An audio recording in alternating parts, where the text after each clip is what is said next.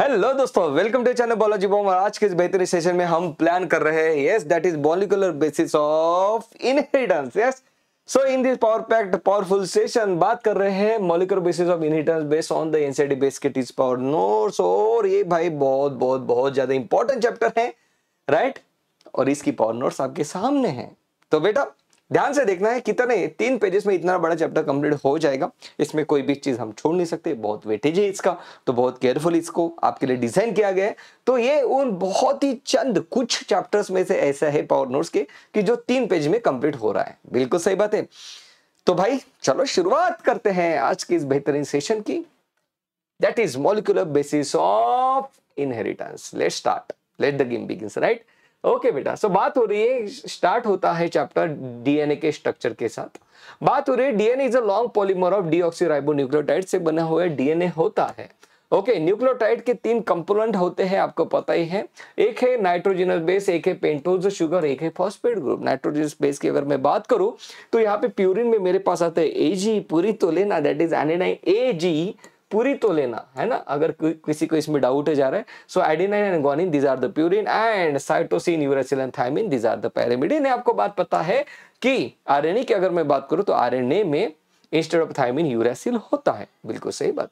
सो पेंटो sugar को जब nitrogen base attach हो जाती है तो न्यूक्लियोसाइड बन जाता है। न्यूक्लियोसाइड में जब मैं फॉस्फेट ऐड कर देता हूँ तो न्यूक्लियोटाइड बन जाता है। फॉस्फेट का फॉस्फेट का पी मतलब पाँच ही बता रहा है कि भाई मैं तो फाइव डैश एंड पे रहूँगा। यही तो छोटी छोटी ट्रिक होती है जिसके लिए आप ये सेशन देखते हो। देखना भी चाहिए, सिर्फ़ ट्रिक को नोट कर लिया करो। Okay free O H group आपको थ्री डैश एंड पे मिलता है। बहुत ही बेहतरीन यहाँ पे बन जाता है कि फाइव डैश एंड डीएनए के पास हम कहते हैं कि डीएनए डबल स्टैंडर्ड मॉलिक्यूल जिसके पास एक थ्री डैश एंड होता है। एक फाइव डैश एंड होता है तो फाइव डैश फाइव मतलब पाँच पाँच ये फाइव डैश एंड कौन दे रहा है?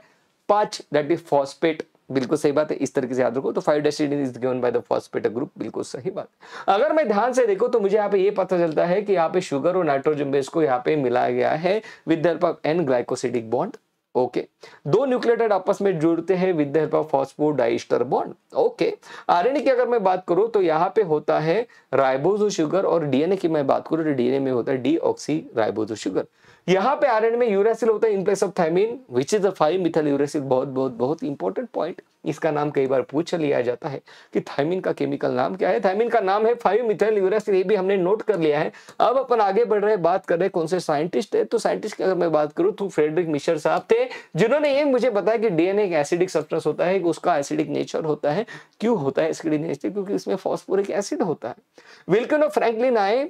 एक्चुअली वो ये था कि फ्रेडरिक फ्रैंकलिन मिशन ने बताया कि भाई डीएनए एक एसिडिक मॉलिक्यूल है जो कि न्यूक्लियस के अंदर प्रेजेंट है। मुझे कमेंट में बताएगा कि भाई न्यूक्लियस सबसे पहले किसने डिस्कवर किया, किसने ऑब्ज़र्व किया? पता करो तो मुझे ज़रूर बताना। सही बात है।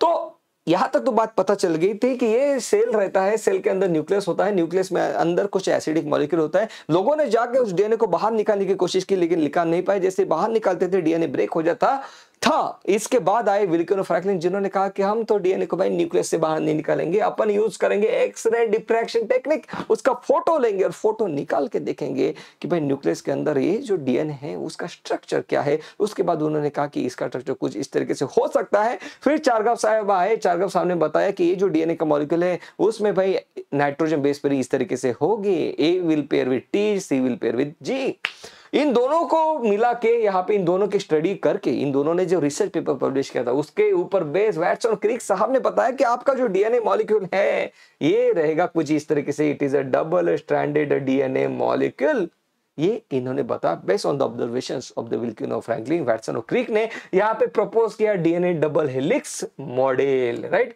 ये बात यहाँ पे प्रपोज की उन्होंने। साथ ही में बहुत इंपॉर्टेंट बात यह है कि यहाँ पे उन्होंने ये भी बताया कि डीएनए डबल स्टैंडर्ड तो है बेटा, लेकिन डीएनए का रिप्लिकेशन भी सेमी कंजर्वेटिव होगा। वो भी इसी वक्त इन्होंने यहाँ पे बताया। प्रूव नहीं किया, मैं बात करो प्रपोज किया था। यार ये होता है दिमाग। दैट चीज़ें पता नहीं है, लेकिन उसके बारे में जानकारी इतनी है कि भाई मैंने आँखों से तो नहीं देखा, लेकिन इसका रिप्लीकेशन भी सेमी कंजर्वेटिव होगा होगा। ये बात उन्होंने प्रपोज की थी सबसे पहले वैटसन क्रिक ने। उसके बाद उसका एक्सपेरिमेंटली किसने किया, वो भी हम देखेंगे, लेकिन ये बात हमने नोट कर ली है। यहाँ पे एमसीक्यू बनता है। किसने प्रपोज किया कि डीएनए रिप्लिकेशन सेमी कंजर्वेटिव है? सबसे पहले वैटसन और क्रिक ने ये प्रपोज किया था। बात कर रहे हैं आगे, बात कर features of the DNA that is double helix structure of a DNA की। अगर मैं यहाँ पे ध्यान से पढ़ू तो मुझे यहाँ पे ये दिखाई देता है कि it is made up of two polynucleotide chain and two chains are anti parallel in nature एक का थ्री डैश एंड उसके अपोजिट में दूसरे स्टैंड का फाइव डैश एंड आएगा। टू चेन्स एंटी पैरेलल होते हैं। ए और टी के बीच में डबल बॉन्ड होता है जी और सी के बीच में ट्रिपल बॉन्ड होता है। उसमें मुझे कंफ्यूज होने की बिल्कुल भी ज़रूरत नहीं है, क्योंकि सी यार, किसमें डबल बॉन्ड किसमें ट्रिपल बॉन्ड इसमें कंफ्यूज होने की ज़रूरत नहीं है। जिसका सी है, उसके पास मतलब क्या है? A B C is the third alphabet तो थर्ड अल्फ़ाबेट यहाँ पे ट्रिपल बॉन्ड बनाएगा। जब भी ये बॉन्ड बनेगा तो C will form a triple bond with the G while A forms with double bond with the T right handed helix model है ये, बहुत इंपॉर्टेंट हमसे को पूछा जाता है। राइट हैंडेड हेलिक्स मॉडल है, आप भी राइट हैंडेड हो डीएनए भी राइट हैंडेड है कंफ्यूज होने की बात नहीं है। रिसेंटली हमसे पूछा गया था। The pitch of the helix is the 3.4 nanometre the distance between base pair is 0.34 nanometre pitch की अगर मैं बात करूँ, पिच मतलब क्या कि भाई ये कंप्लीट टर्न कब तक, ये कंप्लीट टर्न जो है है ना? Right right? यहाँ से शुरुआत हुई तो यहाँ पे कंप्लीट हुआ। हम कहते हैं this is the pitch this is the complete run ये जो डिस्टेंस आ रहा है, ये कितना है? 3.4 नैनोमीटर का। सो so, यहाँ से लेकर यहाँ तक 10 बेस पेयर होते हैं। एक बेस पेयर के बीच में 0.34 नैनोमीटर का डिस्टेंस होता है। 10 पेयर मतलब एक पेज दैट इज़ 3.4 नैनोमीटर उसके बाद भाई फ्रांसिस और क्रिक ने यहाँ पे एक बात कही फ्रांसिस और क्रिक ने एक बात, फ्रांसिस क्रिक ने सॉरी फ्रांसिस क्रिक ने एक बात कही कि भाई डीएनए से प्रोटीन बनता है और उन्होंने कहा this is the central dogma of a protein synthesis central dogma का कंप्लीट नाम है central dogma of a protein synthesis जहाँ पे क्रिक साहब ने हमें बताया कि डीएनए से ट्रांसक्रिप्शन होकर आरएनए बनता है, आरएनए का ट्रांसलेशन होकर प्रोटीन बनता है। यहाँ पे अगर मैं बात करूँ तो इसे कहा जाता है central dogma protein synthesis DNA का रिप्लीकेशन होना बेटा ये सेंट्रल डोगमा का पार्ट नहीं है आई रिपीट डीएनए का रिप्लीकेशन होना, ये सेंट्रल डोगमा का पार्ट नहीं है। आप कहोगे कि सर एनसीआरटी ने तो ऐसा ही दिया है तो आप क्यों बोल रहे हो कि डीएनए का रिप्लीकेशन होना सेंट्रल डोगमा का पार्ट नहीं है? एनसीआरटी ने सोचा, भाई, इतना बता रहे हैं तो ये भी बता ही देते हैं। राइट डीएनए का replication is not a part of protein synthesis क्योंकि प्रोटीन सिंथेसिस के लिए आपको डीएनए को रिप्लीकेट कराने की ज़रूरत नहीं है। सही बात है, ये भी बनता है बेटा। Okay okay? बिल्कुल सही बात है। यहाँ पे एक वायरस रहता है, जैसे कि एच वायरस जिसके पास रिवर्स ट्रांसक्रिप्टेज एंजाइम होता है नॉर्मली डीएनए से आरएनए बनता है, लेकिन इसके पास रिवर्स ट्रांसक्रिप्टेज एंजाइम है, जो कि इसी प्रोसेस को रिवर्स कर देता है आरएनए से डीएनए बना देता है। The process is called reverse transcription the enzyme is called reverse transcriptase सही बात है। ओके, बात कर रहे हैं यहाँ पे पैकेजिंग ऑफ़ डीएनए डीएनए तो भाई दो मीटर का इतू से, छोटू से। न्यूक्लियस में इतना बड़ा डीएनए कैसे आ जाएगा? तो देखो प्रोकेरस की अगर बात करें प्रोकेरस मतलब मैं बात कर रहा हूँ यहाँ पे प्रो बैक्टीरिया की। So negative charge DNA is contained in the nucleotide आपको पता ही है, कोई भी मेम्ब्रेन बाउंड ऑर्गेनेल बैक्टीरिया के पास नहीं रहता है। यहाँ पे यहाँ पे कोई भी न्यूक्लियस नहीं रहता तो डीएनए कहाँ पे रहता है मेरे दोस्त? तो डीएनए अगर मैं देखो कि इसका डीएनए रहता क्या पे है, ऐसे इसका डीएनए से, ऐसे पड़ा हुआ रहता है। लेकिन एनसीटी कहती है कि जिस रीजन में ये पड़ा हुआ है, उस रीजन को हम न्यूक्लियोइड कहेंगे। Okay okay. Organized as a loop hold held by the non-histone कुछ यहाँ पे नॉन हिस्टोन प्रोटीन्स होते हैं, जो इसको आपस में होल्ड करके रखते हैं। तो मुझे ये बात समझ में आई कि बैक्टीरिया का जो डीएनए है न्यूक्लियस के अंदर नहीं रहता, उसके पास नॉन हिस्टोन प्रोटीन होते हैं, जबकि यूकैरियोट्स के पास होते हैं हिस्टोन प्रोटीन्स बात करते हैं हिस्टोन प्रोटीन्स क्या है? The negatively charge DNA is around the positively charge histone histone positively charge है डीएनए नेगेटिवली चार्ज है। याद कैसे रखेंगे मेरे दोस्त? याद इस तरीके से रखेंगे कि डीएनए के पास एन है तो भाई ये नेगेटिवली चार्ज है, इसको भाई पकड़ के रखना है। तो हम क्या करते हैं हिस्टोन नाम के प्रोटीन के ऊपर इसको ऐसे गोल गोल गोल गोल वाइंड अप करके रखते हैं। हिस्टोन क्या है? It is a positively charge protein बात होगी कि भाई क्यों पॉजिटिव चार्ज है इसके बाद? क्योंकि इसके पास है लाइसिन और arginine okay histone proteins are organize histone octamer yes यहाँ पे अगर हम देखेंगे तो ये टोटल आठ होते हैं। ओके राइट तो H3H4 आगे दो, पीछे दो। हो गए चार। H two H two B आगे दो पीछे दो हो गया आठ। सही है? सो हिस्टोन होते टोटल पाँच टाइप के H one H two H two B H C N H four तो यहाँ पे एच वन छोड़ के बाकी के यहाँ पे कोर आपका बना रहे ऐसा हमें दिख रहा है। और जबकि एच वन जो होता है कोर के बाहर प्रेजेंट होता है, ये भी इंपॉर्टेंट एमसीक्यू है, वो भी हमने नोट कर लिया है मेरे दोस्त। डीएनए और हिस्टोन मिलकर जो यहाँ पे मुझे स्ट्रक्चर दिखाई दे रहा है स्ट्रक्चर को मैं न्यूक्लियोजोम कहता हूँ। अगर मैं यहाँ पे बेस पर देखो कि जो न्यूक्लियोजोम है न्यूक्लियोजोम मतलब क्या? H two H two B H three H four मिला के जो ऑक्टेबर बना, उसका अराउंड जो डीएनए ने रैप क्या है कंप्लीट स्ट्रक्चर डीएनए प्लस ये जो हिस्टोन ऑक्टम उसको मैं न्यूक्लियोसोम कह रहा हूँ तो यहाँ पे कितने डीएनए हैं जो इसको वाइंड अप करके रख रहा है ऑक्टेमर ये DNA around 200 base pairs repeating unit of nucleosome constitutes chromatin हाँ ऐसे ऐसे ऐसे पकड़ के रखेंगे क्रोमेटिन बन जाएगा बेटा। Nucleosome in chromatin are seen as a beads on string जब इसको ध्यान से देखेंगे तो मुझे ऐसे दिखाई देगा कि यहाँ पे कुछ हिस्टोन ऐसे ऐसे लगे दिखाई देंगे। तो मैं कहता हूँ this is the beads on string this is मोती से बनी हुई माला।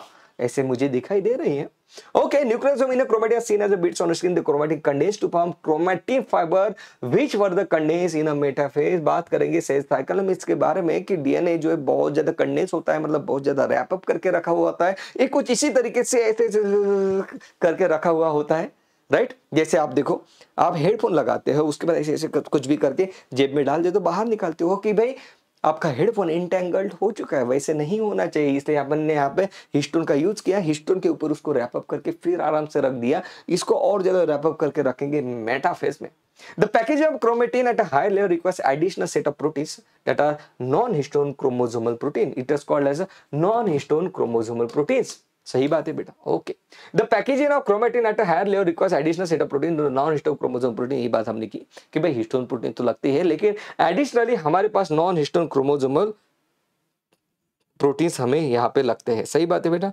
ओके राइट अब बात करते हैं आगे, अब बात करते हैं यहाँ पे आगे। Fine now the loosely pack chromatin भाई ये थोड़ा लाइट स्टेन लेता है, इस टाइप के क्रोमेटिन को हम यू क्रोमेटिन कहते हैं, इस टाइप के क्रोमेटिन को हम यू क्रोमेटिन कहते हैं, जिसका ट्रांसक्रिप्शन भी होता है। तो हम कहते हैं this is the transcriptionally active chromatin. Packed chromatin stains dark and it is called as heterochromatin. Euchromatin is transcriptionally active होता है, ये बात भी हमने नोट कर ली है। अब बढ़ रहे हैं आगे। ओके भाई साहब, चलो।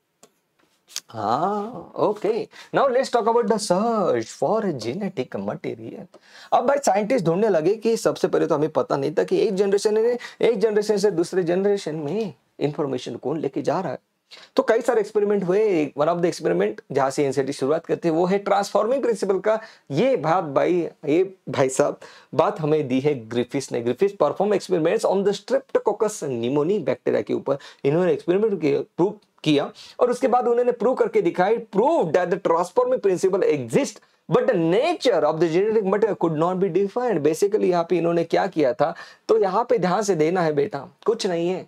स्ट्रिप ये जो ग्रिफिथ साहब थे, उनको ये पता चला कि स्ट्रिप्टोकोकस की दो टाइप की कॉलोनीज होती है। एक होती है रफ कॉलोनी, एक होती है स्मूथ कॉलोनी। रफ कॉलोनी मतलब ऐसी कॉलोनी भाई, यहाँ पे देख लो, ये मैंने बना दी, रफ कॉलोनी। और स्मूथ कॉलोनी मतलब क्या? ये देखो, ये बनती है स्मूथ कॉलोनी। स्मूथ कॉलोनी कुछ ऐसी कॉलोनी होती है जिसके बाहर एक प्रोटीन ग्लाइकोकैलिक्स की कवरिंग होती है, जो कि एंटीजनिक इन नेचर होता है। तो ये मैंने कहा कि this is the smooth colony this is a rough colony जब ग्रिफिथ साहब ने इसका इंजेक्शन इसको दिया तो चूहा मर गया मरा नहीं ज़िंदा रहा सॉरी ये जो फिर स्मूथ कॉलोनी जब दी, यहाँ पे ग्रिफिथ साहब ने, ये रही स्मूथ कॉलोनी। स्मूथ कॉलोनी के पास क्या है बेटा? ग्लाइकोकल इसके बाहर एक लेयर है बेसिकली एक प्रोटीन की लेयर मान सकते हो आप। जिसके वजह से ये चूहा मर जाता है, देखो मर गया। फिर उन्होंने क्या किया? उन्होंने क्या किया कि इसको, भाई, इसको हिट किया। हिट करके इसका इंजेक्शन दिया तो चूहा ज़िंदा रहा। क्योंकि प्रोटीन की लेयर है प्रोटीन डी नेचर हो जाता है। ओके फिर उन्होंने क्या किया? भाई, इसको बंद किया और इसके साथ इसको ज़िंदा वाला, ये रफ स्ट्रेन वाला रखा। अब ज़ाहिर सी बात है रफ स्ट्रेन से मरता नहीं है, जब आप अकेले में दे तो ये भी ज़ाहिर सी बात है, जब आपने इसको गर्म करके दिया तो इससे भी मरा नहीं था। लेकिन जब दोनों को दे दिया तो यहाँ पे चूहा मर गया। तो ग्रिफिथ साहब ने कहा, ऐसा क्यों हुआ भाई? इसका मतलब ये हुआ कि इसने इसको विरुलेंट बनाया, इसको ट्रांसफॉर्म कर दिया। This is called transforming principle basically यहाँ पे ये हुआ था, जब उन्होंने एक्सपेरिमेंट किया कि यहाँ पे जो डीएनए था इसको तो जलाया तो डीएनए फ्री हो गया, डीएनए आ गया इसके अंदर इसके अंदर छिप गया। और इसको भाई, अब इसकी स्मूथ कॉलोनी में नहीं, so rough colony forming bacteria, transform into smooth colony bacteria, जिस वजह से चूहा मर गया। इन्होंने कहा कि भाई, देखो यहाँ पे ट्रांसफॉर्मेशन हुआ, लेकिन ट्रांसफॉर्मेशन डीएनए की वजह से हुआ, ये नहीं पता था उनको। सही बात है, बढ़ते आगे। ओके okay, तो किसने बताया कि ट्रांसफॉर्मिंग प्रिंसिपल डीएनए है? एवरी मैक्लियोड और मैक कार्टी ने बताया कि ये जो ट्रांसफॉर्मिंग प्रिंसिपल है बेटा ये जो ट्रांसफॉर्मिंग प्रिंसिपल है ये डीएनए है। ये बात यहाँ पे की गई थी उनके द्वारा। So S bacteria cause the rough bacteria to become transform और यहाँ पे बात ये हुई थी कि एवरी मैक्लियोड मैक कार्टी ने क्या किया था? ये जो बैक्टीरिया था उसको पहले प्रोटीन डिजेनेट करके देखा। और फिर देखा कि भाई क्या वो रफ बैक्टीरिया को ट्रांसफॉर्म कर सकता है। फिर आरएनए को डिस्ट्रॉय करके देखा, फिर क्या वो ट्रांसफॉर्म करता है कि नहीं करता है, देख लिया उन्होंने। इस तरीके से एक एक चीज़ उन्होंने रिमूव कर करके ये देखा कि रफ स्ट्रेन को स्मूथ स्ट्रेन कौन बना रहा है, उनको पता चला कि ये तो डीएनए होता है। भाई, डीएनए की वजह से ही रफ बैक्टीरिया स्मूथ में बदल पाया है, ट्रांसफॉर्म हो पाया है। ये बात उन्होंने कही। तो उन्होंने कहा कि भाई जेनेटिक मटेरियल तो डीएनए है, लेकिन हालाँकि उनकी बात को लोगों ने माना नहीं, उनके एक्सपेरिमेंट्स में कुछ फ्लॉस थे, जिसकी वजह से लोगों ने माना नहीं, जिसके बाद आए हर्ष और चेस। इन्होंने भाई दिया है यहाँ पे बहुत इंपॉर्टेंट चीज़, उन्होंने एक अनइक्विकल प्रूफ अनइक्विकल प्रूफ दिया मतलब जिनको पूरी दुनिया ने माना कि भैया, इनके एक्सपेरिमेंट के बाद, हर्ष और चेस के एक्सपेरिमेंट के बाद लोगों ने दुनिया में माना कि जेनेटिक मटेरियल है ऐसा कौन सा एक्सपेरिमेंट था उनका? उन्होंने इकोलाई के ऊपर एक एक्सपेरिमेंट किया बेसिकली एक इकोलाई होता है। इकोलाई को, ये जो बैक्टीरियोफेज है, ये इन्फेक्ट कर देता है। आपको यहाँ पे दिख भी रहा है, अगर आप यहाँ पे ध्यान से देखते हो। अब कुछ बच्चे कहते हैं कि, सर, पाव नोट्स में जो डायग्राम है, वो क्लियर नहीं है। बेटा क्लियर इसलिए नहीं है क्योंकि छोटे साइज़ में दी है। छोटे साइज़ में इसलिए दी है क्योंकि आपके पास एनसीआरटी में डायग्राम ऑलरेडी है। यहाँ पे आपसे ये एक्सपेक्ट किया जा रहा है कि उस डायग्राम के बारे में आपको पता है क्योंकि आपने एनसीआरटी पढ़ी है। सिर्फ़ इसको धुंधला सा कुछ देखोगे तो भी याद आ जाएगा। सही बात है। तो देखो यहाँ पे बैक्टीरिया को जो बैक्टीरियोफेज ने इकोला को इन्फेक्ट किया। बैक्टीरिया फ़ेज़ अपना डीएनए इकोला के अंदर डाल देता है। अब इन्होंने बैक्टीरियोफेज को आर्टिफिशियली बनाया। कैसे बनाया? बेसिकली उन्होंने दो टाइप के बैक्टीरियोफेज बनाए। बन, दो टाइप के मतलब कि बैक्टीरियोफेज बैक्टीरियोफेज ही होता है यार। देखो मैं क्या कहना चाहता एक बैक्टीरिया फ़ेज़ ऐसा उन्होंने बनाया जिसके प्रोटीन में इन्होंने रेडियो एक्टिव सल्फ़र डाल दिया। बहुत इंपॉर्टेंट बात है। तो देखो यहाँ पे रेड कलर का मुझे सल्फ़र कंटेनिंग बैक्टीरिया फ़ेज़ दिख रहा है। और दूसरा बैक्टीरिया ऐसा बना है जिसके डीएनए में उन्होंने फॉस्फोरस डाल दिया। ज़ाहिर सी बात है, किसी किसी के डीएनए को मुझे मुझे रेडियो एक्टिव बनाना है तो डीएनए के अंदर जो चीज़ है, उसको ही मैंने रेडियो एक्टिव बनाना चाहिए। तो मुझे पता है डीएनए के अंदर फॉस्फोरस होता है तो मैंने रेडियो एक्टिव फॉस्फोरस दे दिया, जिसका हेल्प करके इस बैक्टीरियोफेज ने अपना डीएनए बना लिया। तो बेसिकली मेरे पास ये है सल्फ़र कंटेनिंग बैक्टीरियोफेज और एक है फॉस्फोरस डीएनए कंटेनिंग बैक्टीरियोफेज और इन दोनों को इन्फेक्ट करके देखा तो होता क्या है बैक्टीरियोफेज अपना जेनेटिक मटेरियल इसके अंदर छोड़ देता है, ये तो उनको नहीं पता था। और उनको ये दिखाई दिया कि भाई, ये जो जेनेटिक मटेरियल है, इस बैक इकोलाई के अंदर चला गया लेकिन वहाँ से कोई रेडियो एक्टिविटी मिली नहीं। इसका मतलब यह हुआ कि प्रोटीन्स बैक्टीरिया के अंदर नहीं जाते। जबकि यहाँ पे उनको पता चला कि ये जो रेड कलर का फॉस्फोरस है, ये देखो जो डीएनए के अंदर छुपा है, ये अब बैक्टीरिया के अंदर चला गया है इन्फेक्ट कर दिया बैक्टीरिया को। और अब जो रेडियो एक्टिविटी मिल रही है रेडियो एक्टिविटी मिल रही है मुझे यहाँ से सेल में से राइट तो ये बात है। इसका मतलब कि डीएनए सेल के अंदर जाता है, बैक्टेरियोफेज का डीएनए सेल के अंदर गया है। इसके मतलब डीएनए ये जो इन्फॉर्मेशन लेके जाता है। इस तरीके से उन्होंने एक्सपेरिमेंट किया। इसको बहुत ही बेहतर विजुअल के साथ हमने सी सीरीज़ में कंप्लीट भी किया था। बेसिकली जो इंपॉर्टेंट पॉइंट आप नोट कर रहे हो यहाँ पे यहाँ पे आप नोट कर रहे हो कि भाई साहब यस बात हो रही है यहाँ पे इकोलाई के बारे में, बात हो रही है यहाँ पे बैक्टीरियोफेज के बारे में, बात हो रही है रेडियो एक्टिव फॉस्फोरस सल्फ़र के बारे में। सही बात है ओके बेटा, ये बहुत इंपॉर्टेंट चीज़ है, ये बात हमें नोट करनी है यहाँ पे, है ना? ये जो चीज़ दी है नीचे बॉटम में, इसे हमने नोट करना है। Now let's talk about the properties of a genetic material DNA act as a genetic material okay RNA is the genetic material tobacco mosaic virus QB bacteriophage कुछ वायरसेस भी होते हैं जहाँ पे RNA as a genetic material काम करता है। But DNA a better genetic material है बेटा, ऐसा क्यों हुआ? कि डीएनए भाई साहब, ये बेटर जेनेटिक मटेरियल है, ऐसा क्यों कहते हैं हम? हम ऐसा क्यों कहते हैं? हम ऐसा इसलिए कहते हैं because it is able to generate इस रिप्लीकेशन अपनी कॉपीज बना सकता है डीएनए जल्दी म्यूटेट नहीं होता। म्यूटेट होना चाहिए, लेकिन जल्दी नहीं म्यूटेट होना चाहिए। It is chemically and structurally stable it provide scope of for slow mutation बहुत इंपॉर्टेंट पॉइंट है। कई बार एमसीक्यू पूछा जाता है इसके ऊपर कि डीएनए भाई म्यूटेशन तो स्लो करता है, लेकिन स्लो म्यूटेशन शो करता है। इसलिए अच्छा है। अच्छी बात है। भाई, एक जनरेशन से दूसरे जनरेशन में इंफॉर्मेशन लेके जा रहा है, बीच में म्यूटेट नहीं हो रहा है, जल्दी जल्दी राइट नहीं तो मेरे से भाई लेके जा रहा था जिन बीच में म्यूटेट हो गया, दूसरे कुछ अलग जिन बना के नई जनरेशन में लेके जा रहा है। ऐसा नहीं होना चाहिए, सही बात। तो वही चीज़ वो करता है। It express it in the form Mendelian character के फॉर्म में अपने वो खुद को एक्सप्रेस करता है, ये बात हो रही।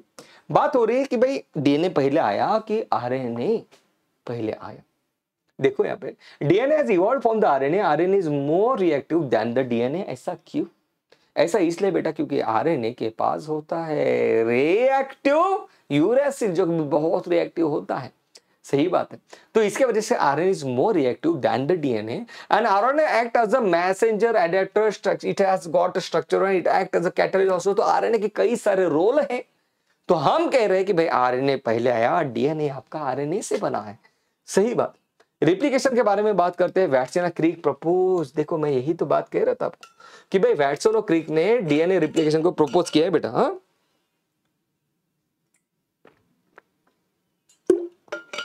वैटसन और Crick propose the DNA replicate semi conservatively यहाँ पे इंपॉर्टेंट बात है कि उन्होंने ये चीज़ प्रपोज की। हालाँकि उसको एक्सपेरिमेंटली प्रूव किसने किया? मिजर्स और स्टाल और टेलर ने। देखो मिजर्स और स्टाल एक्सपेरिमेंटली प्रूव मिजर्स और Stahl experimentally prove that the DNA replicate semi conservatively उन्होंने ई कोला लिया, और ई कोला के अंदर उन्होंने एन एच फोर और सीसियम क्लोराइड लेके अपने एक्सपेरिमेंट के थ्रू उन्होंने ये प्रूव किया कि भाई DNA replication is semi conservative in nature है, सही बात है।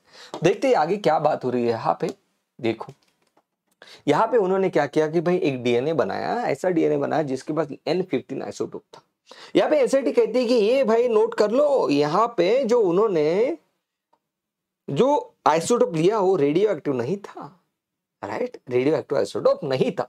तो देखो यहाँ पे एनसीटी कहती है कि उन्होंने एन फिफ्टीन कंटेनिंग आइसोटोप डाला डीएनए के अंदर तो यहाँ पे डीएनए जो है उसके दोनों स्टैंड में एन फिफ्टीन है। उसको रिप्लीकेट कराया ऐसे मीडियम में, जिस मीडियम में एन फोर्टीन है नाइट्रोजन 14 आइसोटोप है। ज़ाहिर सी बात है भाई उन, उसने डीएनए रिप्लिकेशन जब हुआ तो दो स्टैंड बनी एक ऐसी स्टैंड बनी जिसके पास एन फिफ्टीन है ओरिजिनल स्टैंड का नई स्टैंड बनी तो भाई उसके पास एन फोर्टीन है। राइट जिसके बाद सीसीएम क्लोराइड में हमें दो यहाँ पे बैंड दिखाई दिए एक ऐसी बैंड जिस जो लाइट है जिसके पास एन फोर्टीन आइसोटोप है। सही बात है? और एक ऐसा बैंड जो कि हाइब्रिड है जिसके पास N fourteen N fifteen hybrid band हमें दिखाई दिया। तो ये दो बैंड जो हमें दिखाई दी इससे हम कहते हैं कि भाई DNA represent semi conservative in nature है। प्लीज़ नोट दैट कि भाई मिजरसन और स्टॉल ने इकोला के ऊपर एक्सपेरिमेंट किया। N fifteen is not a radioactive isotope it can be separated from the N fourteen only based on the density N fourteen एक light isotope है। सही बात है बेटा। ओके अब बात करते हैं आगे। अब बात करते हैं आगे। फाइन भाई साहब। चलो चलो चलो। हाँ Taylor perform experiment on Vicia जैसे मिजेस और स्टाल ने इकोला के ऊपर एक्सपेरिमेंट किया, वैसे ही एक्सपेरिमेंट टेलर साहब ने किया, लेकिन उन्होंने प्लांट सेल के ऊपर एक्सपेरिमेंट किया, उन्होंने फेशिया फाइबा का यूज़ करके डीएनए सेमी कंजर्वेटिव नेचर है, ये हमें प्रूव करके दिया। बात कर रहे हैं यहाँ पे रिप्लिकेशन होता किस तरीके से है तो देखो। न्यूक्लियोटाइड जुड़ जुड़ के डीएनए बनता है, लेकिन डीएनए बनाने के लिए यहाँ पे एनर्जी कौन देता है? क्या वो एटीपी देता है? नहीं नहीं मेरे दोस्त एनसीआरटी आपको ये कह रही है कि deoxyribonucleoside triphosphate ये न्यूक्लियोटाइड भी प्रोवाइड करा रहा है और ये एनर्जी भी प्रोवाइड करा रहा है। यहाँ पे एटीपी नहीं है, जो कि एनर्जी प्रोवाइड कराता है। एक डीएनए पॉलीमरेज नाम का एंजाइम होता है जो न्यूक्लियोटाइड्स को अटैच करता है और आपको डीएनए बना के देता है। डीएनए पॉलीमरेज हमेशा फाइव पाँच बजे उठता है, सुबह तीन बजे तक का काम करता है। जो न्यू स्टैंड बनती है, वो बनती है five dash to three dash direction में। सबसे पहले डीएनए को ओपन किया जाता है, जिसे हम रिप्लीकेशन फॉर्क कहते हैं। उसके बाद यहाँ पे क्या होता है, देखो, यहाँ पे डीएनए पॉलीमरेज पाँच बजे से तीन बजे तक नई स्टैंड बना रहा है, जबकि दूसरी स्टैंड जो है, जिस स्टैंड को हम यहाँ पे कह रहे हैं, देखो the template with the polarity 5 dash to 3 dash, template with the polarity 5 dash to 3 dash, discontinuous इसका रिप्लीकेशन होता है। ये जो 5 dash to 3 dash है, इसका रिप्लीकेशन डिसकंटिन्यूसली होता है फ्रैगमेंट्स में होता है, जिसे हम ओकाजाकी फ्रैगमेंट्स कहते हैं। बाद में ये जो फ्रैगमेंट्स है, जोड़ेगा कौन भाई साहब? आपने तो टुकड़े टुकड़े में बना दिया तो यहाँ पे डीएनए लाइगेज नाम का एंजाइम आता है, जो कि एमसीक्यू कई बार पूछा जाता है कि डीएनए लाइगेज का यूज़ होता है ओकाजाकी फ्रैगमेंट्स को जोड़ने के लिए। डीएनए रिप्लीकेशन भाई, शुरुआत कहाँ से होती है? तो एनसीआरटी कहती है कि डीएनए डबल स्टैंडर्ड मॉलिक्यूल है। यहाँ पे कुछ कुछ कुछ रीजन में डीएनए सबसे पहले ओपन होना शुरू हो जाता है उन रीजन को हम ओरिजिन ऑफ़ रिप्लीकेशन कहते हैं।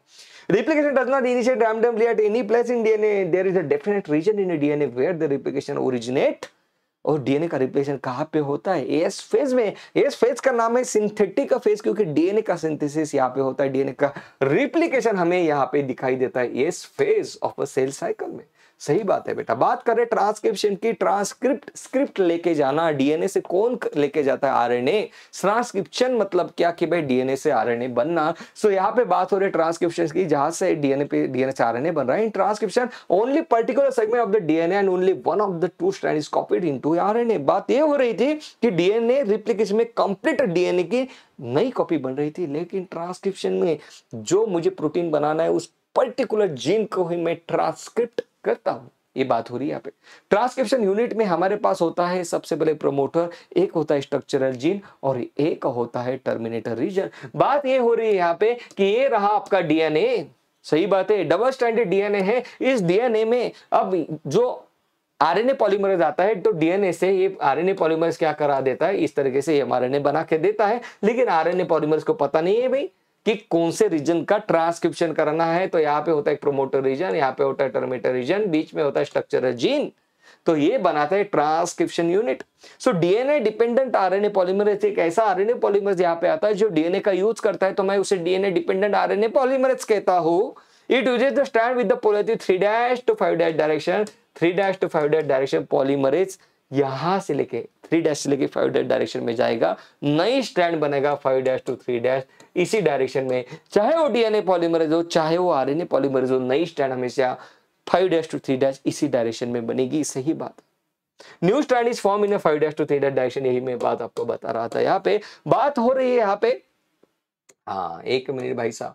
हाँ बात हो रही है यहाँ पे कि जिस जिस स्टैंड का यहाँ पे हम ट्रांसक्रिप्शन कर रहे हैं। जहाँ से जैसे थ्री डैश टू फाइव इसका हम ट्रांसक्रिप्शन कर रहे हैं तो इसे मैं टेम्पलेट स्टैंड कहता हूँ। इसे मैं क्या कहता हूँ? इसे मैं टेम्पलेट स्टैंड कहता हूँ। सही बात है। और जो दूसरी स्टैंड है, उसे मैं कोडिंग स्टैंड कहता हूँ, क्योंकि ये जो दूसरी स्टैंड है, इसका और इसका न्यूक्लियोटाइड सीक्वेंस मुझे सेम दिखाई देता है। कुछ इस तरीके से बात यहाँ पे की जा रही है। It has the same sequence as newly form RNA it does not code for anything तो बहुत इंपॉर्टेंट पॉइंट है। एमसीक्यू खींचेगा, यहाँ पे एग्जामिनर ट्राई करेगा कि आपको पकड़ ले। क्योंकि कोडिंग स्टाइल से क्या भाई कोड करने वाला आरएनए बनता है? नहीं। यही तो बात हो रही है यहाँ पे। तो इसको भी हमने नोट कर लिया है। अब बढ़ते हैं आगे। बात करते हैं ट्रांसक्रिप्शन यूनिट की। Which strand to be coded is decide by the transcription unit transcription unit के पास अभी हमने देखा प्रोमोटर होता है स्ट्रक्चर होता है टर्मिनेटर जीन होता है। प्रोमोटर जो होता है it is located towards the five dash end यहाँ पे आप देख भी रहे हो कि promoter is located towards the five dash end sorry हाँ five dash end of the structure gene ये जो स्ट्रक्चर जीन होता है, उसके फाइव डैश एंड के पास यहाँ पे प्रोमोटर रीजन होता है, बिल्कुल सही बात। है और प्रोमोटर जहाँ पे होता है, उस स्ट्रैंड को हम कहते हैं कि भाई ये कोडिंग स्ट्रैंड है। He provide the binding site for the RNA polymerase सबसे पहले यहाँ पे आता है प्रोमोटर के पास। यहाँ पे आके बाइंड हो जाता है सिग्मा फैक्टर उसकी। मदद करता है। उसके बाद आरएनए पॉलीमरेज आता है और इसका यहाँ पे ट्रांसक्रिप्शन करा देता है। एनसीआरटी कहती है कि आरएनए पॉलीमरेज का काम है सिर्फ़ एलोंगेशन करना। इनिशिएशन एंड टर्मिनेशन करना। ट्रांसक्रिप्शन का ये आरएनए पॉलीमरेज का काम नहीं है। It is located terminator region देखो it is located toward the three dash end of the coding star it define the end कि भाई यहाँ यहाँ से लेके यहाँ तक ही तुमको डीएनए का यूज़ करके आरएनए बनाना है ये बात यहाँ पे हो रही है। सही है? ओके तो यहाँ तक तो हमने बहुत इंपॉर्टेंट बात कर ली है। सही है बेटा? सो so, जो आरएनए बनता है यहाँ पे देखते हैं। ट्रांसक्रिप्शन अभी खत्म नहीं हुआ भाई। ट्रांसक्रिप्शन अभी चल ही रहा है, बात करेंगे और। बीच में एनसीटी हमें जीन के बारे में बता रही है। बस जीन क्या है? It is a DNA sequence DNA का सीक्वेंस ही है जो कि यहाँ पे T R N A R R N A या एम आर एन ए बनाता है। DNA sequence coding for the M R N A देखो, बात क्या हो रही है बेटा? यहाँ पे ध्यान से देखो। हालाँकि ये बातें मैंने सब सी थ्री सीरीज़ में बताई है। यहाँ पे डीएनए है बेटा। इस डीएनए से मान लो इस पर्टिकुलर रीजन से टीआरएनए बन रहा है। है ना? एक मिनट भाई साहब, इसको थोड़ा अपन अलग डायग्राम निकाल देंगे यस ये देखो। ये डीएनए है। ओके डीएनए से इसने टी आर एन ए बना दिया। ओके ओके यहाँ पे देखो, इसने यहाँ से राइबोसोमल आरएनए बना दिया, है ना? ओके और यहाँ से इसने एमआरएनए बना दिया। ओके ओके ज़ाहिर सी बात है एमआरएनए बनेगा तो एमआरएनए का ट्रांसलेशन होके यहाँ पे प्रोटीन भी बनेगा। ओके तो एनसीआरटी क्या कहती है कि DNA sequence coding for the mRNA भाई, ये भी सीक्वेंस कोड कर रहा है, ये भी कोड कर ये कोड कर रहा है। लेकिन जो एमआरएनए के लिए कोड कर रहा है, उस डीएनए सीक्वेंस को हम सिस्ट्रॉन कहते हैं। मतलब सिस्ट्रॉन्स भी प्रोटीन्स बनाते हैं। सही बात है। प्रोकेरियोट्स की बात करूँ मैं तो प्रोकेरियोट्स में कई सारे सिस्ट्रॉन्स मुझे दिखाई देते हैं। It codes for several proteins बात करेंगे लैक ऑपरम इसके बारे में। यूकेरियोट्स जो है it is a monocistronic mRNA मतलब एक एमआरएनए से भाई एक ही प्रोटीन बनेगा। ये बात यहाँ पे की जा रही है। Genes in eukaryotes are split having exons and introns. बात क्या होती है बेटा कि जो जीन होते हैं अपने, जीन में ये जो डीएनए होता है, इस डीएनए में क्या होता है बेटा कंप्लीट डीएनए से प्रोटीन्स नहीं बनते। उनके डीएनए के कुछ ही रीजन्स होते हैं जिससे प्रोटीन बनाया जाता है। तो हम कहते हैं कि भाई अपना जो डीएनए है, उसके में, उसमें जो जीन्स है, स्प्लिट जीन्स है, क्योंकि कंप्लीट डीएनए में यहाँ पे जीन्स नहीं होते। बीच में कुछ नॉन कोडिंग रीजन्स होते हैं जिसे हम कहते हैं कि भाई स्प्लिट जीन्स है ये, है ना? ओके। चलो अब आगे बढ़ रहे हैं बेटा। Now let's talk about exhaust जब एमआरएनए बन जाता है तो एमआरएनए में कुछ होते हैं ऐसे रीजन जो खुद को एक्सप्रेस करते हैं। उन रीजन को हम एग्जॉन्स कहते हैं। सो so, एग्जॉन्स ये एक्सप्रेस करा पाते हैं खुद को तो यहाँ पे एक इंपॉर्टेंट बात भी यहाँ पर नोट करते हैं। एग्जॉन्स खुद को एक्सप्रेस कराते हैं। एग्जॉन्स खुद को एक्सप्रेस कराते हैं। Okay okay it appear in a mature mRNA जबकि इंट्रॉन्स किसी भी प्रोटीन को कोड नहीं करते do not express them and do not appear in mature RNA regulatory change भी होते हैं हमारे पास जो कि किसी भी आरएनए या प्रोटीन बनाने में हेल्प नहीं करते हैं। सही बात हो रही बेटा? ओके अब बात करते हैं आगे की।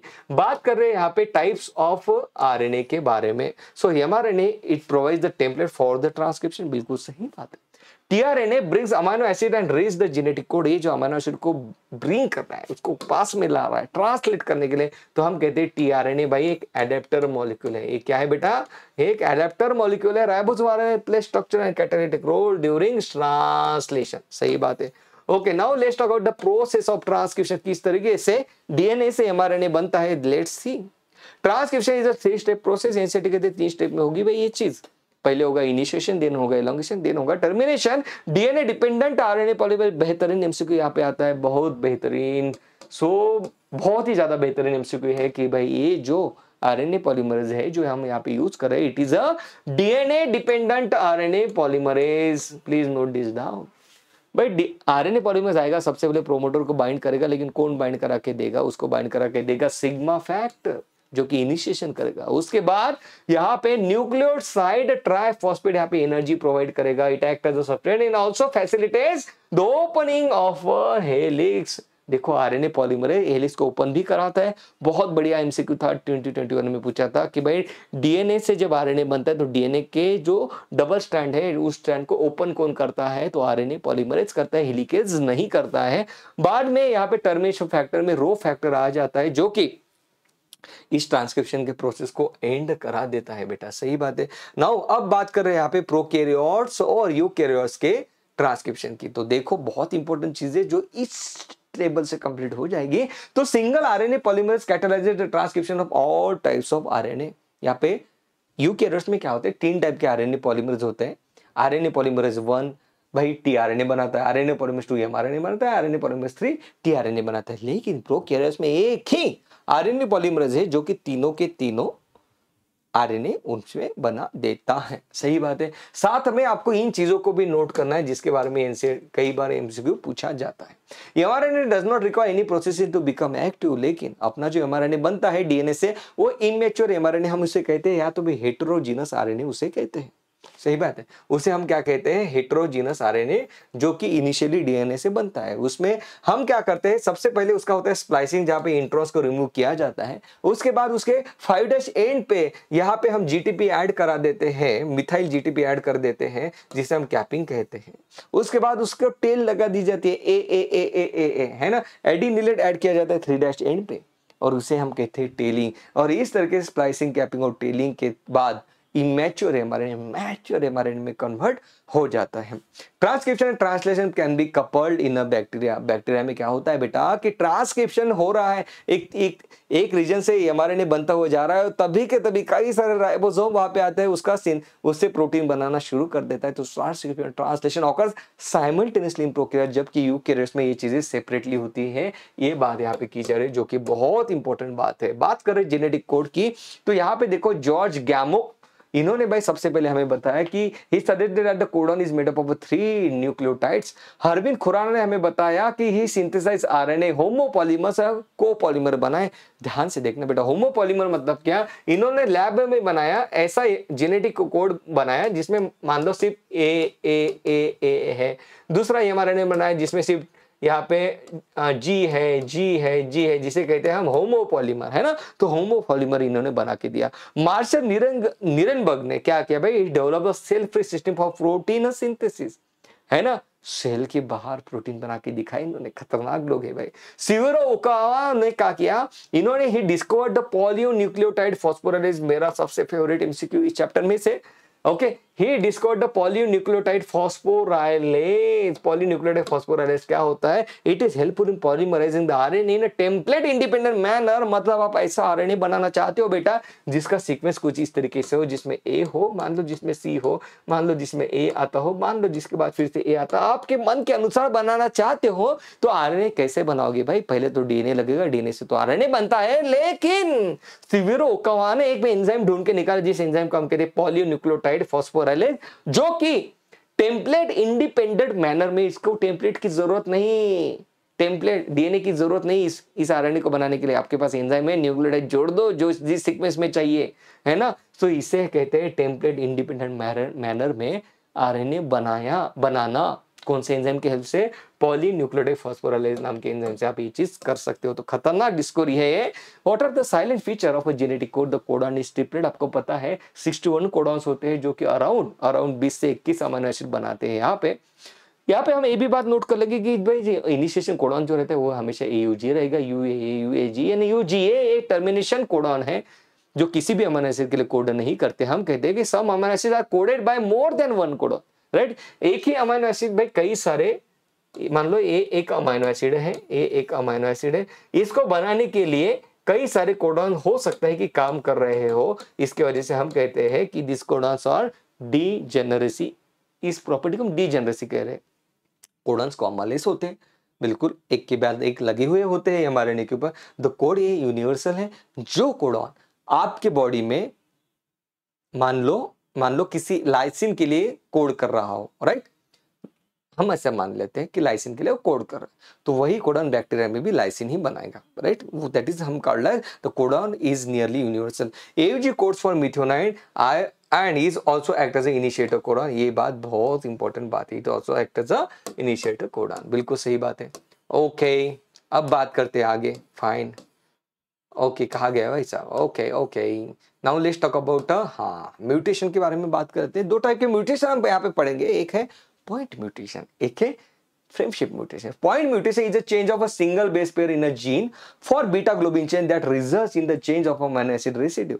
For example, glutamate भाई वैलिन में चेंज हो जाता है तो glutamate goes valine welcome sickle cell anaemia हो जाता है फ्रेंडशिप म्यूटेशन की अगर बात करें तो यहाँ पे आरएनए के जो न्यूक्लियोटाइड सीक्वेंस है उसमें आपने एक न्यूक्लियोटाइड ऐड कर दिया एक बाहर निकाल दिया तो कंप्लीटली कोडॉन चेंज हो गया ना आपको जिसके जिसे हम कहते हैं फ्रेमशिप म्यूटेशन सो इंसर्शन और डिलीशन ऑफ़ वन और two bases changes the reading frame from the point of insertion और deletion called as frameshift mutation बात करें टीआरएनए की द टीआरएनए को हम एडेप्टर मॉलिक्यूल कहते हैं, बहुत इंपॉर्टेंट बात है। सेकेंडरी स्ट्रक्चर इसका, ये पूछा था बेटा? बी केयरफुल सेकेंडरी स्ट्रक्चर इसका क्लोवर लिप के जैसा दिखता है, क्या प्राइमरी स्ट्रक्चर दिखता है नहीं? क्या टर्शियरी स्ट्रक्चर दिखता है नहीं? नहीं, इसका सेकेंडरी स्ट्रक्चर क्लोवर लिप के जैसे दिखता है tRNA has an anticodon loop and amino acid acceptor end at the three dash end ये जो टीआरएनए है, इसका जो थ्री डैश एंड है, इसके ऊपर अमाइनो एसिड यहाँ पे आके अडेप्ट हो जाते हैं, उसको पकड़ लेता है। There are no tRNA for the stop codon के लिए कोई भी टीआरएनए नहीं है बेटा। TRNA R N A are specific for each amino acid बहुत इंपॉर्टेंट बात हो रही है। Now let's talk about the translation translation refers to the process of polymerisation of amino acids to form polypeptide सबसे पहले टीआरएनए आता है, जो चार्ज हो जाता है अमाइनो एसिड को पकड़ लेता है। हम कहते हैं it is a charging of a tRNA ribosome के पास दो यूनिट होते हैं, एक को हम कहते हैं स्मॉल यूनिट एक को हम कहते हैं लार्ज यूनिट अगर आपको पता अगर होगा तो मुझे जरा बताना कमेंट सेक्शन में कि ये जो स्मॉलर और लार्जर यूनिट किस से जुड़े हुए होते हैं। ये जो स्मॉलर यूनिट है, ये ये जो स्मॉलर यूनिट है बेटा, ये यहाँ पे एम के साथ यहाँ पे अटैच हो जाता है, जबकि लार्जर यूनिट जो है, ये काम करता है ज्वाइनिंग ऑफ़ अमाइनो एसिड को ज्वाइन करने के लिए ये काम करता है यहाँ पे। एक मिनट मैंने थोड़ा उल्टा निकाल दिया, इसको कुछ इस तरीके से अपन निकालते हैं ना? एक मिनट। तो स्मॉलर यूनिट को अपन नीचे निकालेंगे लार्ज यूनिट को ऊपर निकालेंगे ओके और स्मॉलर यूनिट के पास एम आर ज्वाइन रहता है ओके लार्ज यूनिट जो है अमाइनो एसिड को जोड़ के देता है। The ribosome also act as a catalyst है 23 years ribosome RNA in bacteria is the enzyme that is ribozyme बहुत इंपॉर्टेंट बात है कि एक ऐसा आरएनए है व्हिच एक्ट एज अ ये एक ऐसा आरएनए है बेटा which act as a catalyst किस तरीके से कैटरिश क्या करता है वो? It act as a catalyst और ये पेप्टाइड बॉन्ड बना देता है अमान एसिड के बीच में, जो कि आरएनए है खुद। Protein synthesis starts at the start codon UAG बिल्कुल सही बात है। रिलीज़ फैक्टर आता है। इस कंप्लीटली आरएनए को ये रीड करता हुआ जा रहा है अमीनो एसिड जोड़ते हुए जा रहा है, बाद में रिलीज़ फैक्टर आएगा, इसको रिलीज़ करेगा।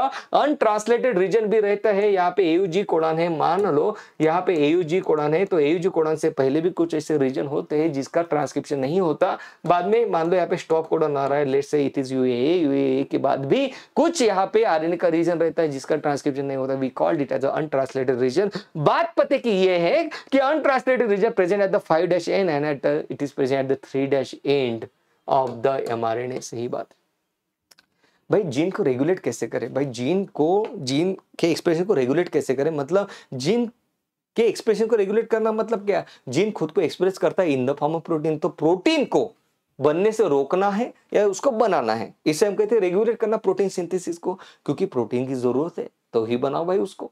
तो ये चीज़ कैसी होती है? देखो in eukaryote the regulation could be exerted at the transcription level बहुत इंपॉर्टेंट बात है कि ट्रांसक्रिप्शन लेवल पे जीन को रेगुलेट किया जाता है कि भाई ट्रांसक्रिप्शन होने से रोक लो आप। जो आगे चल के ट्रांसक्रिप्शन होगी, मान लो इंसुलिन बन रहा है। आप चाहते हो कि इंसुलिन ना बने तो भाई ट्रांसक्रिप्शन होने मत दो एम बनने मत दो। आगे चल के उसका ट्रांसलेशन नहीं होगा इंसुलिन नहीं बनेगा। या तो फिर प्रोसेसिंग जब आप उसका कर रहे हो, जब आप स्प्लाइसिंग कर रहे हो तब भाई उस एम जो बना, उसको ब्रेक कर दो, खत्म बात तो इंसुलिन नहीं बनेगा। अगर नहीं बनाना चाहते आप तो। या तो फिर एमआरएनए को ट्रांसपोर्ट किया जाता है। भाई एमआरएनए तो न्यूक्लियस के अंदर बनता है। उसको साइटोप्लाज्म में जाना पड़ता है, बाद में उसका ट्रांसलेशन होगा। तो उसको रोक लो बीच में न्यूक्लियर पोर में से बाहर निकाला तो उसको रोक लो। तो ये ट्रांसपोर्ट जब हो रहा है, तब भी आप इस एक्सप्रेशन को रोक सकते हो यूकेरियर्स में। या तो भी ट्रांसलेट मत करो उसको। भाई राइबोसोम को बाइंड ही मत होने दो ट्रांसलेशन नहीं होगा। लेकिन प्रोकैरियोट्स की अगर हम बात करें तो regulation is primary exerted at the transcription level यहाँ पे क्या होता है? द मेन प्रोकैरियोट्स क्या करते हैं? इसी लेवल पे ये चीज़ खेलता है, क्योंकि प्रोसेसिंग तो उसमें होता नहीं। भाई, उसमें ये हमारे का ट्रांसपोर्ट नहीं होता, क्योंकि न्यूक्लियस नहीं है। है ना? ट्रांसलेशन लेवल पे इसको रेगुलेट नहीं किया जाता मेनली रेगुलेट किया जाता है ट्रांसक्रिप्शन लेवल मेनली सही बात है? भाई, चलो, अब आगे बढ़ते हैं। Now let's talk about lac operon तो इसी का एग्जांपल है लैक ओपेरा लैक मतलब लैक्टोज ओपेरा मतलब एक ऑपरेटर जी कि ऑपरेशन कि भाई लैक्टोज के ऑपरेशन को किस तरीके से रेगुलेट किया जाता है, वो हम लैकोपेरॉन में पढ़ते हैं। तो जैकॉब और मोनर ने ये चीज़ हमें बताई। लैकोपेरॉन ये क्या करता है बेटा? कुछ नहीं है बैक्टीरिया है लैक्टोज को मेटाबोलाइज करना चाहता है। तो अपनी बात ये है कि भाई तुझे अगर लैक्टोज को मेटाबोलाइज करना है तो तू लैक्टोज मेटाबोलाइज एंजाइम बना। तुझे लैक्टोज को मेटाबोलाइज नहीं करना है तो लैक्टो मेटाबोलाइज एंजाइम मत बना, क्योंकि मेटाबोलाइज एंजाइम बनाने के लिए तो भाई एनर्जी लगती है। तो देखो ये बैक्टीरिया इसी चीज़ को किस तरीके से करता है। उसके पास लैक ओपेरन होता है, जिसमें एक रेगुलेटरी रीजन होता है और तीन स्ट्रक्चरल जीन होते हैं यहाँ पे, जिसे हम कहते हैं जेड वाई और A gene Z gene beta galactosidase बनाता है वाई परमिएज बनाता है और ए जीन ट्रांस एसिडिलेज बनाता है। Promoter terminator regular operator gene इसके पास होते हैं। The repressor of the operon is synthesise form the I gene यहाँ पे बहुत बेहतरीन तरीके से मैंने इस विजुअल्स इसके दिखाए हैं। अगर आपने टॉपिक नहीं पढ़ा तो I would strongly advise you कि लैक ओपेरॉन को आप अच्छे से देख लो बेटा। बहुत अच्छे विजुअल के साथ आपको पढ़ाया गया है। तो देखो यहाँ पे the repress of the operon is synthesise all the time from the I gene यहाँ पे जो आइजिन होता है, वो कंटिन्यूसली वो कंटिन्यूसली यहाँ पे रिप्रेसर प्रोटीन बना, बनाता रहता है। जिसके बाद ये जो रिप्रेसर प्रोटीन आता है और यहाँ पे ऑपरेटर को जाके अटैच हो जाता है और आरएनए पॉलीमर्स को इसको रीड करने नहीं देता एंजाइम को बनने से रोक देता है। तो ये बात हो रही है तो नॉर्मली आरएनए पॉलीमर्स को रीड करने से दैट इज़ ट्रांसलेशन करने से सॉरी ट्रांसक्रिप्शन करने से रोका जा रहा है। सो रेगुलेशन ऑफ़ लैक ऊपर बाद repress is refer to as negative regulation क्योंकि हम उसको रोक रहे हैं तो हम इसे नेगेटिव रेगुलेशन कहते हैं। द लैक ऊपर is under the control of positive regulation as well the lactose act as a inducer जब यहाँ पे लैक्टोज आ जाएगा तो लैक्टोज खुद ही रिप्रेसर प्रोटीन को हटा देता है और हम कहते हैं कि lactose act as a inducer सही बात है बेटा? ओके okay, भाई साहब चलो अब अपन आगे बढ़ते हैं। नाउ लेट्स सी अब अपन आगे बढ़ते हैं। Okay okay. चलो। नाउ अब यहाँ पे ह्यूमन जीनोम प्रोजेक्ट के बारे में बात करते हैं। तो the term genome is use for the haploid set of chromosome ये जो अपने पास 46 क्रोमोसोम है, उसका जो हैप्लोइड फ़ेज़ अपने पास दो सेट है। राइट हैप्लोइड हैप्लोइड डिप्लोइड है अपन। तो उसका जो हैप्लोइड सेट है उसे हम जीनोम कहते हैं। Human genome project was closely associated with the bio informatic which uses the computer technology to analyse the biological data bio मतलब लिविंग इन्फॉर्मेटिक मतलब इन्फॉर्मेशन टेक्नोलॉजी तो ह्यूमन जीनोम प्रोजेक्ट में decide किया गया कि भाई डीएनए का हम सीक्वेंसिंग करेंगे। मतलब डीएनए को भाई डीएनए किस तरीके से बना है किस किस न्यूक्लियोटाइड से बना है ये हम ढूंढे ढूंढेंगे। और फिर भाई अगर आपने जानकारी पता कर ली तो आप, आ, आपको इंसुलिन को बनाने वाला जीन आप लैब में बना सकते हो। तो सबसे पहले इसमें इंफॉर्मेशन हमने ढूंढनी शुरू की कि जीन बना कैसे, कौन से न्यूक्लियोटाइड सिक्वेंस इस पर्टिकुलर जीन को बनाते हैं। ऐसे सभी ढूंढ जीन्स ढूँढने की कोशिश ह्यूमन जीनोम प्रोजेक्ट कर रहा था। इसका मेन गोल था cost to determine the sequence of a base pair base pair को जानना कौन सी मेथोडोलॉजी यूज़ की? हमने दो मेथोडोलॉजी यहाँ पे यूज़ की है। एक है एक्सप्रेस सीक्वेंस टैग और एक है सीक्वेंस एनोटेशन एक है सीक्वेंस एनोटेशन देखो यहाँ पे in this segments in this method express all the gene that is DNA बात हो रही है डीएनए की, है ना? DNA that are express as RNA are identified express sequence tags में हम जीन को आइडेंटिफाई करते हैं बेटा, जो कि खुद को एक्सप्रेस कर रहे हैं आरएनए में। हमने देखा कि डीएनए में कई सारे ऐसे रीजन भी होते हैं जो कि नॉन कोडिंग होते हैं। तो हमने सबसे पहले ऐसे रीजन ढूंढे जो कि कोड कर रहे थे। तो हमने जीन्स को ढूंढा। In this method all the genes that is the DNA that are express as RNA are identified दूसरी मेथड भी हमने यूज़ की, जिसे हम सीक्वेंस एनोटेशन कहते हैं। This is a blind where all the coding and non coding sequences are identified तो sequence annotation में हमने कंप्लीट डीएनए को ढूंढना शुरू कर दिया कि भाई भाई, इस एंड से शुरू करो और एंड तक लेके जाओ कि भाई कौन से कौन से न्यूक्लियोटाइड से डीएनए बनाए। जबकि यहाँ पे एक्सप्रेस सीक्वेंस टैग में हमने सिर्फ़ वही डीएनए के रीजन को आइडेंटिफाई आइडेंटिफाई किया जो कि प्रोटीन बना रहा था राइट जो कि खुद को एक्सप्रेस कर रहा था मतलब प्रोटीन बना रहा था कॉल्ड एक्सप्रेस टैग तो ये दोनों बात को नोट कर लेना। प्रोसेस की अगर हम बात करें तो कैसे ढूंढा गया? तो सबसे पहले डीएनए को कट कर लो with the help of vector right सबसे पहले डीएनए के फ्रेगमेंट बना दो।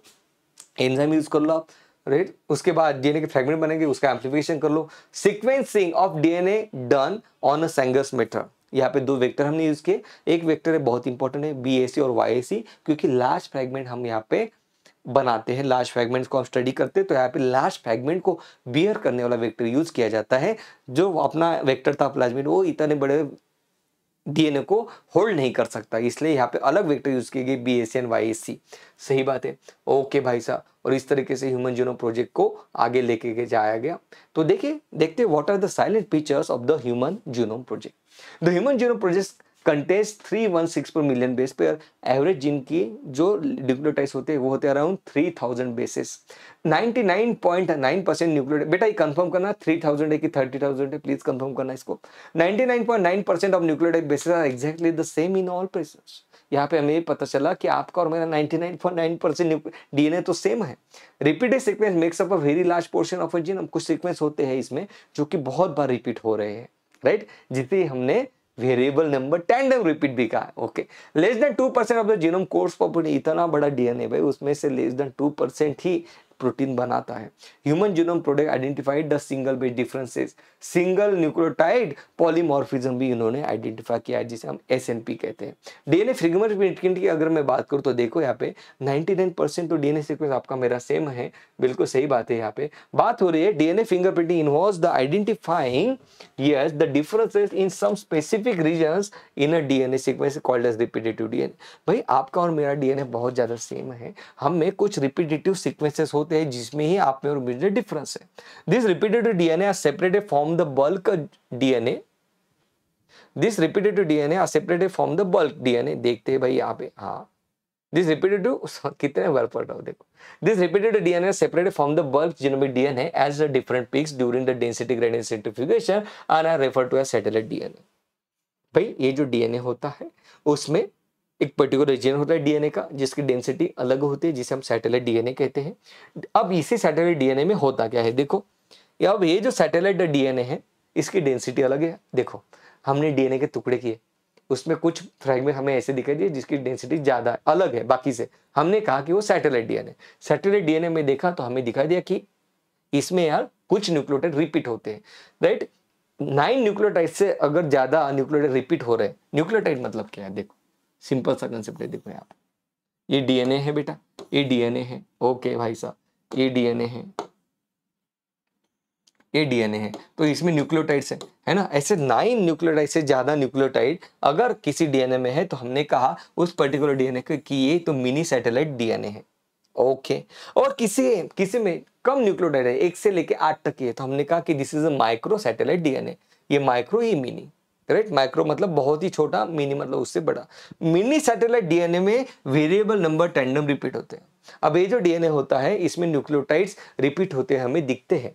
जिसका नंबर आपके इसमें मान लो, यहाँ पे एक पर्टिकुलर न्यूक्लियोटाइड का सीक्वेंस है। Let say it is A C T G ऐसे आठ हो गया मान लो ये आपकी इसमें ए सी टी जाया फिर से ए सी टी जाएगा ओके फिर से ए सी टी जाएगा ऐसे। मान लो आपके आपके डीएनए में बीस बार रिपीट हो रहा है, मेरे डीएनए में ये। पच्चीस बार रिपीट हो रहा है। तो ये डिफरेंसेस जो है, इसे मैं कहता हूँ variable number tender repeat tender repeat आप में भी सेम मुझमें भी सेम लेकिन वो कितने बार रिपीट हो रहा है? उसका नंबर अलग अलग है बेटा। ओके उसका नंबर आपके इसमें बीस है, मेरे इसमें पच्चीस है। ऐसे हर एक डीएनए अपने पास कितने क्रोमोजोम है? फोर्टी सिक्स क्रोमोजोम कितने अलग अलग टाइप के न्यूक्लियोटाइड्स राइट वीएनटिया वो कितने बार रिपीट हो रहे हैं उसके अकॉर्डिंगली अपन ये आइडेंटिफाई कर सकते हैं कि वो आपका डीएनए ये मेरा डीएनए ये बात यहाँ पे डीएनए फिंगरप्रिंटिंग में होती है। सही बात है। Now what are the features of a repetitive DNA चलो भाई।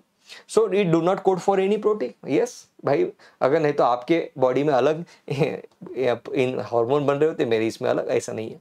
It shows high degree of polymorphism आपकी इसमें अलग बार रिपीट हो रहा है, मेरे इसमें, आपकी इसमें बीस बार होता है, मेरे इसमें पच्चीस बार हो रहा है तो हम कहते हैं पॉलीमॉर्फिज्म शो कर रहा है। फॉरेंसिक एप्लीकेशन है। बिल्कुल खूनी कौन हो, आप हो क्यों हो, पता कर सकते हैं।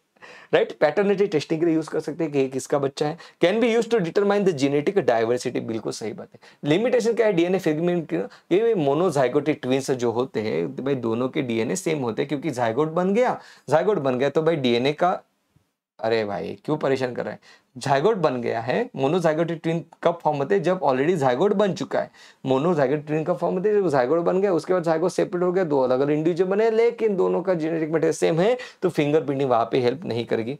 Technique of DNA fingerprinting was develop by Alec Jeffrey and he use the V N T R for the DNA fingerprinting Alec Jeffrey ने ये चीज़ ढूंढ के निकाली। देखो किस तरीके से डीएनए फिंगर प्रिंटिंग किया जाता है। सबसे पहले डीएनए को आइसोलेट किया जाएगा। डीएनए को डाइजेस्ट किया जाएगा by the enzyme restriction endonuclease separation of a DNA fragment is done by agarose jelly electrophoresis उसके बाद ये जो फ्रैगमेंट थे, उसको ट्रांसफ़र कर देंगे हम।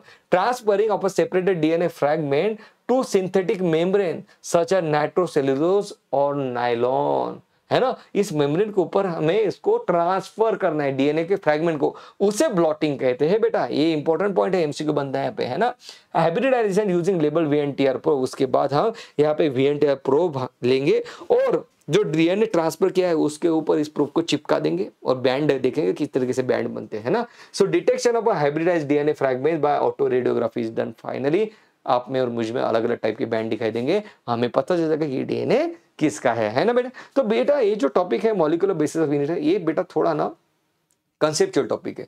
इसमें सिर्फ़ पढ़ने से नहीं होगा। अगर आपका स्ट्रांग होल्ड नहीं है तो एक बार दो घंटे दे दो इस टॉपिक को। सीतरी सीरीज़ में बहुत अच्छे से इसको एक्सप्लेन किया गया है। तो पिछले साल का सीतरी सीरीज़ देखना, इस बार तो हमने उसके एमसीक्यू के ऊपर ज़्यादा फोकस किया था, क्योंकि बच्चों ने कहा कि, सर, हमने वो लेक्चर देखा है तो आप एक काम करो, हमारे यहाँ एमसीक्यू प्रैक्टिस करवा के ले लो। तो इस साल उसकी एमसीक्यू प्रैक्टिस किया गई लेकिन कुछ महीने पहले इसका डिटेल लेक्चर आया था, वो लेक्चर आप देखना बेटा, है ना? दो ढाई घंटे का लेक्चर है तो कंप्लीट चीज़ें क्लियर हो जाएगी। पेशेंस के साथ देखना पर्टिकुलर लैक ओपरन देख लो।